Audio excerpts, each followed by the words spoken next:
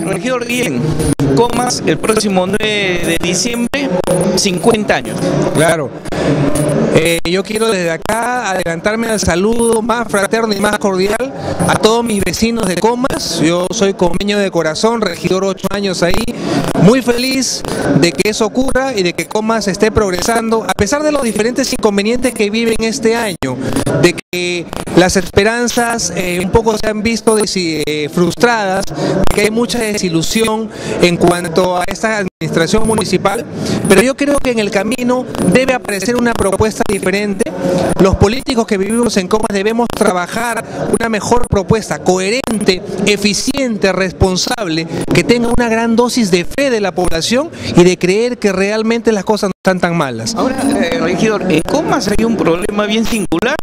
Los regidores viven al acecho de vacancias que le han sido presentadas ante el Consejo Municipal. El Consejo Municipal las ha desestimado, pero igual van a terminar eh, en el Jurado Nacional de Elecciones. ¿Esto permite gobernar?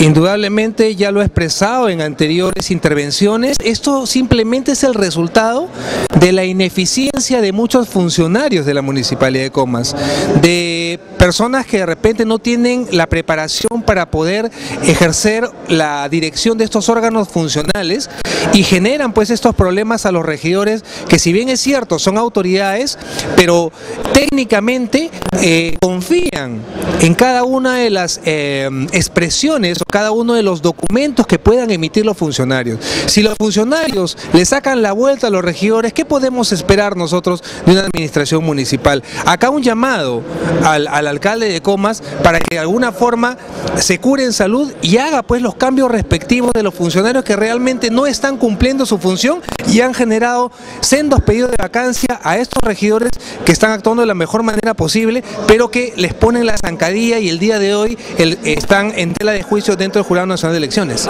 ¿cuál es la situación de los regidores del PPC en el distrito de Comas?